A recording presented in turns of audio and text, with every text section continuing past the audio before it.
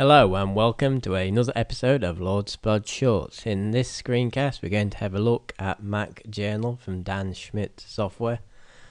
It's a journaling application that lets you keep your thoughts and sort of what's going on in your life in one easy place. There's a web page. It's homepage.mac.com slash dschimpf. That's uh, D-S-C-H-I-M-P-F. And you can download a trial from there. Let's get it open. The first time you open Mac Journal, you're presented with a new journal and an entry inside that journal. In this case, welcome to Mac Journal, telling you a little bit about it. To create a new entry, click new entry on the toolbar. Um, just pretty much like any sort of standard OS 10 program. Uh, and then you get a little thing of what's new. So it's new interface built for Leopard, um, add PDFs, QuickTime movies, and so on, and so forth. Right, so we'll start by adding a new journal. So to do that, to do that, it's File, New Journal, or Shift Command N. So I'm just going to press that on the keyboard now. It will ask me to name the journal, so I'm going to call this. And in this journal, I'm going to put all things that relate to work. Now, as I said earlier, there's already a new journal, which is called New Journal 1 we're going to click on that and then right click and we're going to rename. I'm going to call that my home journal. And in there is the welcome journal and I'm going to delete that. And it's going to say delete entry welcome to Mac journal and all its contents. Uh, you can choose by ticking this not to show this message again but I like to be warned so I'm going to untick that and delete it. Now I've got two journals um, my home and my work journal, the disclosure triangle at the side, and the number of entries. And we see we've got naught. So I'm going to enter a entry in the past. As you can see here, it's highlighted today's date. That's the 13th of September 2010. Now I'm going to click on the first and it automatically has created a journal entry for 1st of September 2010 at the current time. I'm just going to fill some details in, starting with the topic. As you can see, I the topic was had pizza at Moe's, and the content was must go again. It was the best pizza. Um, I'll add the address. So now we have an entry, uh, one entry. We can click the disclosure triangle, will hide it, and the number shows one there for one entry. Look at it, and it's had pizza at Moe's. Must go again. It's got the date I'm now going to do the same for the work journal, except I'm going to pick the future. So in this case, uh, tomorrow. Give it a date, say 14th of September. Now, as you can see, I've not given it a topic, so it has the date. Uh, meeting with Jones, must not forget to bring iPad. No topic.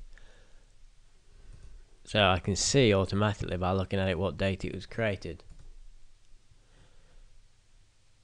You can also see the date. If you click on the journal, you'll have the name. In this case, it's the name of the date that I clicked on, the date, and the journal it's in. So if I go in that, and we'll now type the actual topic.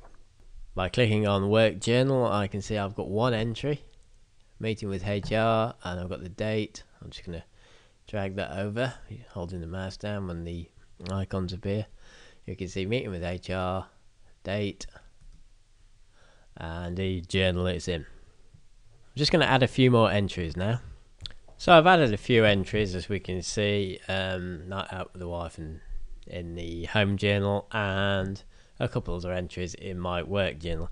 Now as you may remember from the start it also supports importing files such as PDF so what I'm going to do is I'm going to go and grab a PDF here and it comes in imported files and looks just like the PDF. Now it's automatically created this new journal. The same thing will happen if I take this meeting with HR, um, sorry, if I take this trouble with the builders and drag it down here, it'll have a dragged entries journal. I'm going to put that back by selecting it, left click, and then holding and dragging it back into work journal. And I'm going to right click and delete the dragged entries journal.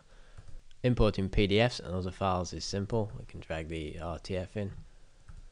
Uh, it's created a new imported files journal. Not particularly happy with that, so we'll drag it into there. And we'll do the same with this PNG. Now that time I dragged it and dropped it specifically on the imported files and it put it in there. So let's just delete that one. I'll show you that again. In this case we'll take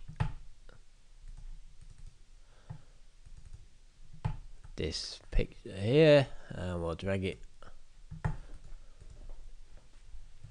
Now this is a keynote file. It doesn't know what to do with it internally but it does know what it is. So you can just click on it and click to open in keynote. And if I click that it will open it in keynote. Just like mail uh, you can have smart journals. So um, any topic contains um, builders.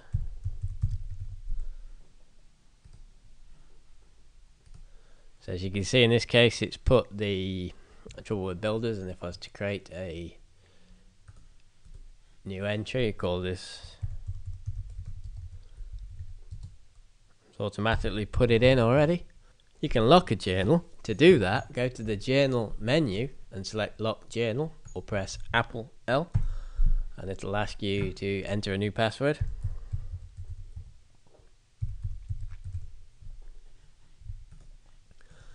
This journal is locked. As you can see, the others aren't locked, so if you wanted to keep anything secret, you put it in here. I'm going to unlock it. You can also encrypt the data. It's now encrypted to be doubly private. And that's a very simple overview of Mac Journal, a journaling application for OS 10. My name's Marcus Boyce. Thank you for watching Lord Splodge Shorts.